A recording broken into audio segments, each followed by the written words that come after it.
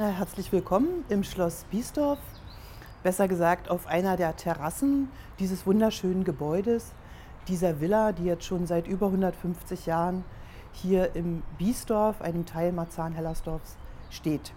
Das Schloss Biesdorf ist die kommunale Galerie des Bezirkes Marzahn-Hellersdorf.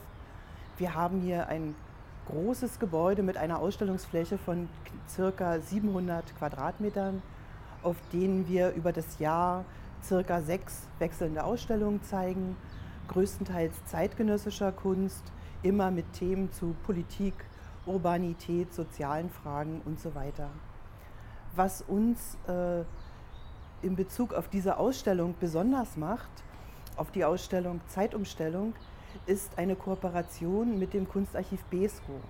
Das Kunstarchiv Besko steht für ein Archiv von DDR-Kunst und mit dieser Institution verbindet uns eine langjährige Kooperation. Wir hatten mehrere Einzelausstellungen, wir hatten kleinere Grafikmappen und in dieser Ausstellung, Zeitumstellung, steht erstmalig das Kunstarchiv Besko im Fokus des Ausstellungsgeschehens. Die Kooperation mit dem Kunstarchiv Besko ist uns sehr wichtig, weil, äh, wie sicherlich jeder, jede bemerkt, äh, die Zeit der DDR und natürlich auch die Kunst der DDR immer wieder im Fokus des Interesses, auch bei vielen Künstlerinnen und Künstlern steht. Für uns ist es natürlich wichtig, zeitgenössische Arbeiten zu zeigen, aber die Entwicklung der Kunst kommt natürlich auch partiell aus der Zeit der DDR. Und dies zu thematisieren, diese Brüche zu thematisieren, äh, ist uns sehr wichtig. Und ich denke, in dieser Ausstellung, in dieser Ausstellung Zeitumstellung, ist es auf eine sehr gute Art gelöst. Es gibt historische Arbeiten aus dem Kunstarchiv, sowohl als auch Arbeiten zeitgenössischer Künstlerinnen und Künstler, die auch den Blick zurückwagen oder tätigen und dies aber in die heutige Zeit transportieren, so dass die Ausstellung die Ausstellung eine Brücke schlägt zwischen dem, was war und von dem, was ist und trotzdem eine, ja, eine zeitgemäße Aussage zu der Thematik Kunst in der DDR trifft. Wir haben versucht, in der Ausstellung neue Dialoge zu eröffnen und dabei zu schauen, was kann uns ein Bestand von Kunst aus der DDR in der heutigen Zeit sagen. Diese Begegnung zeitgenössischer Künstler mit verschiedenen Themen, die auch im Kunstarchiv Besko zu finden sind, ergibt ganz neue Blicke und das war Wunsch für dieses Ausstellungskonzept. Im ersten Raum der Ausstellung begegnen wir jungen Leuten, Leuten, die man vielleicht auf den ersten Blick gar nicht mit der DDR in Verbindung bringt. Die Arbeit von Carla Pohl, einer jungen Fotografin aus Berlin, zeigt uns verschiedene Menschen Mitte 30 bis Mitte 40, die der dritten Generation Ost angehören. Der fotografischen Arbeit von Carla Pohl begegnen wir in diesem Raum mit einem Kinderporträt aus dem Bestand im Kunstarchiv Besko. Ähm, dieses Kinderporträt von Doris Karas ähm, zeigt Detlef Stemmer. Ähm, Im Grunde steht dieses Kinderporträt nur stellvertretend für Kinder, die heute erwachsen sind und deswegen eben ihre Erinnerungen an die DDR aus Kindertagen in ihrem heutigen Leben betrachten. Das Kunstarchiv Besko wurde zu Beginn der 1990er Jahre gegründet, um Kunst aufzubewahren, die in der DDR meist als Auftragswerk entstanden ist. Es waren die Länder Berlin, Brandenburg und Mecklenburg-Vorpommern sowie der Magistrat von Ostberlin als auch die Stiftung Kulturfonds, die sich damals entschieden, ähm, Kunst, die nach dem sogenannten Fundortprinzip ihnen zugeordnet werden konnte, nach Besko zu geben. Es handelte sich dabei um Werke, die in der DDR in den öffentlichen Einrichtungen der sogenannten Massenorganisation, dazu zählte die Gewerkschaft FDGB oder der Jugendverband oder die Jugendorganisation FDJ, ähm, die sich da in den öffentlichen Gebäuden, in den Ferienheimen ähm, befanden und nach dem Ende der DDR ihren ursprünglichen Standort verloren hatten. Insgesamt sprechen wir in BESCO von 17.000 Werken der bildenden Kunst. Die größte Gruppe ähm, sind die Arbeiten auf Papier. Dazu gehören druckgrafische Arbeiten, Zeichnungen, Aquarelle, Gouachen und auch ein kleiner Teil an Fotografie. Es gibt rund 1600 Gemälde verschiedenen Formates. Es gibt Skulpturen ähm, und auch einige wenige textile Werke. Zu diesen 17.000 äh, Werken der bildenden Kunst kommen etwa 1500 Objekte des die eher dem Kunsthandwerk und dem sogenannten bildnerischen Volksschaffen, also der Leinkunst, zugerechnet werden können.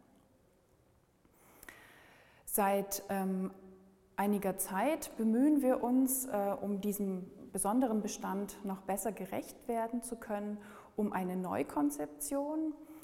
Die ähm, besteht zum einen darin, dass wir 2019 oder dass das Kunstarchiv 2019 in neue Depoträume ziehen konnte, hinter der Burg Besko und in diesen Räumen ist es möglich, ähm, einem breiten Publikum im Rahmen von öffentlichen Führungen diese Kunst oder diesen Kunstbestand näher zu bringen. Ähm, zum anderen wird das Kunstarchiv BESCO zusammen mit dem Dokumentationszentrum Alltagskultur der DDR in Eisenhüttenstadt in Zukunft sehr eng verbunden sein. Und damit haben wir die Möglichkeit, sowohl die bildende Kunst, die Alltagskultur als auch die Architektur ähm, in Eisenhüttenstadt eben im Zusammenhang betrachten zu können. Und schließlich möchten wir in Zukunft verstärkt mit externen Kuratorinnen und Wissenschaftlerinnen arbeiten, um neue Perspektiven, neue Fragestellungen formulieren zu können. Ein Ergebnis dieser Neuausrichtung ist die Ausstellung.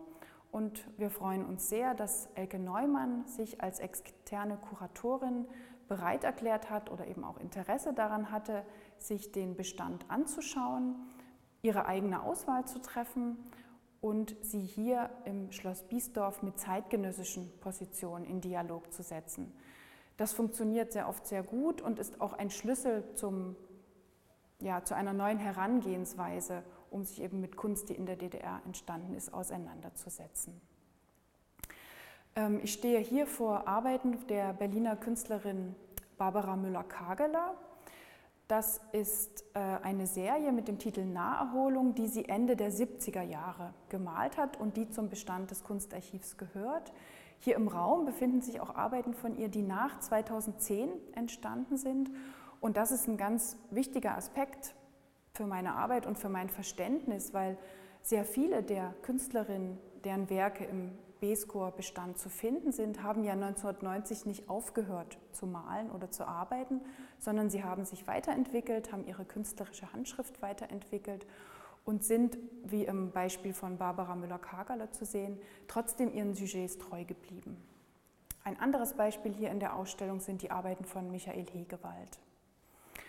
Ähm, diese dieses Thema Naherholung gibt ja diesem ganzen Ausstellungsraum hier die Überschrift und es finden sich auch noch Arbeiten einer Grafikmappe, ähm, die 1981 zur Eröffnung des Berliner Sport- und Erholungszentrums, kurz SEZ, äh, in Ostberlin entstanden sind. Das ist auch nochmal ein sehr guter Verweis auf diesen großen Bestand an Grafikmappen, die sich in Besko befinden und an denen sich auch oft Künstler beteiligt haben, die eher nicht so präsent waren im öffentlichen ähm, Bereich. Hier in der Grafikmappe haben wir zum Beispiel ein Blatt von Hans Ticher und auch eines von Harald Metzges, die sich in der Ausstellung sehen können. In diesem Raum begegnen wir 21 verschiedenen Künstlern, die mit ihren Handschriften die Vielfalt der Ostdeutschen zeigen, verschiedene Altersgruppen, verschiedene Berufsgruppen, ganz unterschiedliche Ostdeutsche, die dieser homogenen Masse begegnen und uns zeigen, dass die Ostdeutschen viel mehr sind und verschiedene Generationen umfassen, verschiedene Lebenserinnerungen und Erlebnisse und dass man sich immer wieder klar machen sollte, dass es ein Volk gibt, das aus sehr, sehr unterschiedlichen Personen besteht. Diesen eher in ihrer Natur stummen ähm, Zeitzeugen in Form von Porträts begegnen wir mit zwei zeitgenössischen Arbeiten, die sich mit Sprache und Sprachlosigkeit beschäftigen. Zum einen die Arbeit Pst von Frenzi Höhne, die einem Comic gleich zwei große Sprechblasen in den Raum fallen lässt und verweisen uns eben auf die Frage nach Artikulation in der Öffentlichkeit. Diese großen, eher clownesken Figuren liegen einfach im Raum. Ihnen gegenüber steht eine Videoarbeit von Mario Pfeiffer, die sehr unterschiedlichen Personen die Möglichkeit gibt, über ihre Erfahrungen in der Wendezeit zu sprechen und ihre Erlebnisse und ihre auch politischen Ansichten dieser Zeit mitzuteilen. Diese Arbeit umfasst Videomaterial über fünf Stunden. Also man kann diesen Leuten sehr lange in ihrer Rede folgen. Man wird sie in der Ausstellung wahrscheinlich nicht komplett konsumieren können, aber es gibt die Möglichkeit zu sehen, wie unterschiedlich die Zeit in dieser Arbeit gesehen wird. Internationalität ist bezogen auf die DDR heute eher selten ein Thema. Dennoch war, waren Thema wie Völkerfreundschaft und Kontakte mit anderen Ländern in der DDR allseits präsent. Völkerfreundschaft wurde stark propagiert und auch in vielen künstlerischen Werken als Thema verarbeitet. Hier in diesem Raum begegnen uns einerseits Arbeiten aus Besko, die oft eher in offiziellem Charakter das Thema Völkerfreundschaft berühren, also verschiedene Personen aus verschiedenen Ländern in Freundschaft zusammen darstellen. Andererseits begegnet uns ein Teil der internationalen Realität der DDR, nämlich die Frage der Gastarbeiter bzw. Vertragsarbeiter. Malte Wandel, ein Fotograf und Filmemacher, begegnete in Mosambik verschiedenen Personen, die sich sehr positiv an ihre Zeit in der DDR erinnerten und ihm als Münchner, der eigentlich keinerlei Berührung zur DDR-Geschichte hatte, ihr Bild der DDR in bunten Farben darstellte. Diese Mosambikaner kämpfen bis heute für einen Teil ihres Lohns, der als Rentenzahlung an Mosambik überwiesen wurde und wie man heute weiß, oft dazu genutzt wurde, äh, Staatsschulden von Mosambik an die DDR zu tilgen. Also dieses Geld kam nie in Mosambik an und die Vertragsarbeiter sind zwar in ihr Land zurückgekehrt, konnten aber nie auf ihre Rentenzahlungen zurückgreifen. Diese Realität von Internationalität in Bezug auf die DDR wird heute wieder Thema und oder zeigt einem bis heute den Bezug in die Gegenwart. Meine erste Begegnung mit der DDR hatte ich auf meiner Schulreise 1988 natürlich nach West-Berlin in einem Schullandheim im Grunewald. Die führte uns dann aber auch über die Friedrichstraße zum Alexanderplatz und ich durfte eine Club Cola trinken. So, das sind eigentlich so meine Berührungspunkte. Erstmal allerdings ähm, habe ich, wie gesagt, als ich 2004 nach Berlin gezogen bin, sehr schnell gemerkt, dass ich eigentlich ein Interesse an dem öffentlichen Raum entwickelt habe, was auch unter anderem damit zu tun hat, dass hatte, dass ich kein Atelier mehr besaß zu dem Zeitpunkt ähm, und ich einfach den öffentlichen Raum für mich entdeckt habe. Und eigentlich der interessantere öffentliche Raum war für mich der Ostberliner öffentliche Raum, weil dort sehr viele Spuren, Hinterlassenschaften, äh, natürlich der DDR zu sehen waren, aber auch noch eine Schicht weiter, und zwar äh, Schäden des Zweiten Weltkriegs. Und so fing ich an, einfach mich für diesen Bereich, den Ostteil der Stadt, zu interessieren. Was ist mit den Spuren und Erinnerungen im öffentlichen Raum, an die niemand erinnert und auch augenscheinlich nicht erinnern kann, weil es aus dem öffentlichen Bewusstsein verschwunden ist wie zum Beispiel bei diesen Fahnenmasten. Also ich meine, man muss überlegen, die stehen seit 1990 ungenutzt im öffentlichen Raum herum und haben eine ganz komische Anonymität gegenüber, also aus meiner Sicht zumindest gegenüber Architektur und Denkmälern. Also sie, sie sind erstmal der Funktion beraubt und zweitens auch dem Land beraubt, in dem sie mal standen.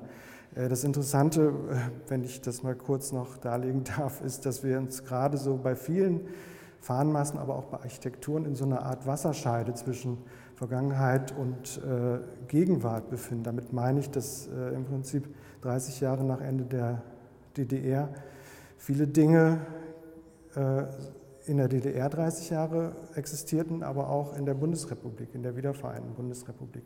Das ist auch höchst interessant für mich, weil ich ja die Aspekte der Zeitlichkeiten betont habe. Also im Prinzip Dinge aus der Vergangenheit strahlen in die Gegenwart, aber natürlich auch in die Zukunft und definieren darüber natürlich öffentlichen Raum oder auch öffentlichen Diskurs oder einen künstlerischen Diskurs und hoffentlich auch einen gesellschaftlichen Diskurs. Die DDR taucht in Arbeiten von mir auf, vor allem in den Installationen, die ich seit äh, circa 2001 mache. Und äh, diese bestehen aus DDR-Schrankwänden, die äh, produziert wurden, so eben mittlerweile vor 30 oder noch mehr, 40, 50 Jahren, äh, die zu DDR-Zeiten eigentlich äh, im gesamten Land äh, in den Wohnzimmern standen. Diese Möbel bestehen aus Modulen, ähm, die sich sozusagen äh, in, in, ganz vielen Kombinationen äh, auf, abbauen, äh, kombinieren lassen. Und für mich war sozusagen so eine, ein initialer Auslöser, dass ich diese Möbel, ähm, das war allerdings dann schon im Jahr 2000, massenhaft in einem Humana-Kaufhaus stehen sah. Dort standen die quasi in Straßen und eigentlich wurde mir dort erstmal so, so ein bisschen im Nachhinein klar, was die Wende oder dieser politische Umbruch äh, eigentlich auch für jeden einzelnen Privathaushalt bedeutet hat. Also natürlich hat, hat das, äh, das Leben der Leute in, in jeglicher Hinsicht verändert. Also viele Menschen haben die Arbeit verloren und so weiter, aber man hat sich eben privat auch äh, zum Teil komplett neu eingerichtet. Ähm, und das habe ich dort sozusagen äh, in, in diesen quasi schon fast skulpturalen Straßen äh, gesehen und es seitdem als Material benutzt. Wenn Sie meine Bilder anschauen, dann bin ich eigentlich ein Atmosphäriker. Also ich, das muss immer nach Frühling kriechen oder so, es ist kompliziert zu erklären. Aber ich äh, habe viel äh, Verbundenheit mit gebauter Landschaft, also mit den Häusern, mit den Bauten, die ich auch jetzt in Italien und in Südfrankreich sehe, die ich immer neu kombiniere. Die Bilder sind eigentlich immer Erfindung. Es gibt nichts, das, was ich male. Die Trixie, die hier hängt nebenbei, das ist der Kopf einer Schülerin meiner ehemaligen Frau, aber die habe ich der jungen Frau hochgemalt. Also auch das ist eine Erfindung. Ja? So. Man kann hier den Industriehof sehen, äh, auf dem ich arbeitete. Da war ein Auftrag, Thema war Arbeit und ich habe früher Werbebau gemacht, Werbebau. Und da haben wir draußen die Schilder gemalt und die Transparente und die Messeaufsteller für Messer in der ganzen Welt. Und da bin ich hin und habe bei meinen Jungs, bei meinen alten Kollegen dort gemalt, drei, vier Wochen lang. Da ist das Bild entstanden. Mhm. Also meine Großmutter ist gebürtige Dresdnerin und deswegen war die DDR bei uns in der Familie eigentlich immer ein Thema. Und ähm, ich war äh, während der Schulzeit auch in Ostberlin. Das war damals bei uns so eine Art ähm, kultureller Pflichtbesuch. Ähm, der aber sehr prägend war. Und ich bin direkt nach der Eröffnung, ähm, also 1990, nach Berlin gekommen, habe hier studiert und wir waren die erste Generation, die zusammen studiert hat, also Ost und West. Und ähm, ich bin quasi in eine Stadt gekommen, die komplett in der Veränderung, in, in der Transformation war. Ich habe in, in, Friedrichshain in der Mainzer Straße gewohnt, ähm, auch äh, in einem gemischten Haus, ähm, wo ehemalige DDRler und auch ähm, Leute aus Berlin oder aus dem Westen ähm, zusammen gewohnt haben. Und das war natürlich sehr prägend. Und ähm, dass ich mich mit Plattenbau dann so intensiv beschäftigt habe, kam auch daher, dass ähm, ich eigentlich immer in Ostberlin gelebt äh, habe und auch viel hier war. Ich meine, die kulturelle Szene war unglaublich lebendig in den 90er Jahren und ich möchte keines dieser Jahre missen. Es war sehr intensiv und sehr spannend und ähm, sozusagen die DDR als ähm, ja in ihren Hinterlassenschaften natürlich allgegenwärtig. Ich meine, ich habe auch Freunde, die in der DDR groß geworden sind und insofern ist das ein Thema, das mich eigentlich ähm, entfernt bis heute begleitet. und jetzt eben nach 30 Jahren auch noch mal hier eine Installation mit Plattenbau mache, habe ich eigentlich auch nicht mit gerechnet, aber ist natürlich ähm, dem Thema der Ausstellung geschuldet und ähm, ist für mich auch in, insofern jetzt auch nicht ähm, passé, weil es immer noch, ein, wie wir sehen, ein ganz aktuelles Thema ist. Ähm, und diese Auseinandersetzung mit Plattenbauen war insofern für mich ganz besonders, weil ähm, ich habe zu Studienzeiten haben wir, ich diese, mich mit der Plattenbausiedlung Lichtenberg beschäftigt und habe sehr, ähm, mich sehr wissenschaftlich damit auseinandergesetzt, analytisch ähm, und habe quasi diese Siedlung kartiert, mich mit den ganzen Plattenbautypen beschäftigt, mit der Infrastruktur, mit der baulichen Gestalt, mit dem Stadtraum, aber eben auch mit der ganzen technischen ähm, Hintergrund und Konstruktion. Und aus dieser Dokumentation ist dann ähm, ist ein Archiv entstanden, ein Fotoarchiv, ähm, aus dem ich bis heute schöpfe und daraus eben auch diese raumgreifenden Installationen ähm, entwickle. Und dieses Archiv ist quasi mit dem Plattenbau, Recherchen und mit meinen Dokumentationen entstanden und hat eben jetzt Raum gegriffen ähm, mit ganz anderen Räumen in der ganzen Welt, anderen Architekturen, anderen Themen. Aber ich sage auch nochmal, ohne Plattenbau würde es dieses weder das Archiv noch meine Werke, wie sie heute da stehen und ähm, sich formieren und in den Raum gehen, gar nicht geben. Also weil mich interessiert natürlich auch immer dieses, äh, dieser kulturelle Hintergrund oder gerade diese Dichotomie des Plattenbaus, ähm, die oft in Architekturen eingeschrieben ist. Also sozusagen, es gibt immer eine ganz positive Seite, aber eben auch eine problematische Seite und das kommt in ganz vielen Architekturen, Gebäuden zusammen und das ist genau das Spannende daran.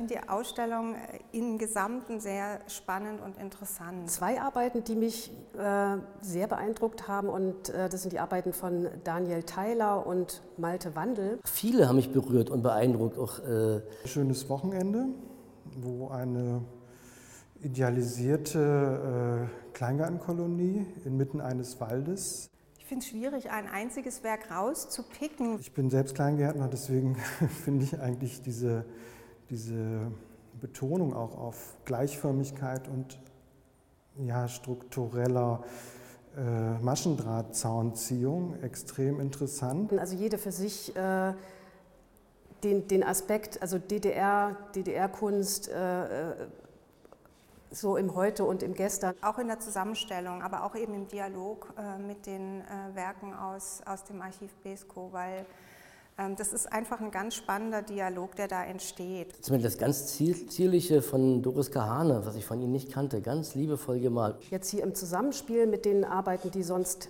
auch hängen, äh, besonders bereichernd. Also dass da so Aspekte dazukommen, also die jetzt äh, in der Gegenwart auch besonders äh, virulent sind. Also es geht letztendlich auch um Rassismus. Und Held der Arbeit ist nicht nur präsent in der Ausstellung gehängt, sondern auch äh, für mich ein sehr tolles Werk. Und dann eins vom einem Maler, der mir gar nicht so nah ist, der Paul Michaelis, diese wunderbare kleine Elbstudie von einem Dampferanlege. Dort hinten im Raum ist das sehr schönes Bild. Ja, da habe ich mich sehr gefreut. Also ich weiß, überraschend ist von Paul Michaelis so ein Bild zu sehen.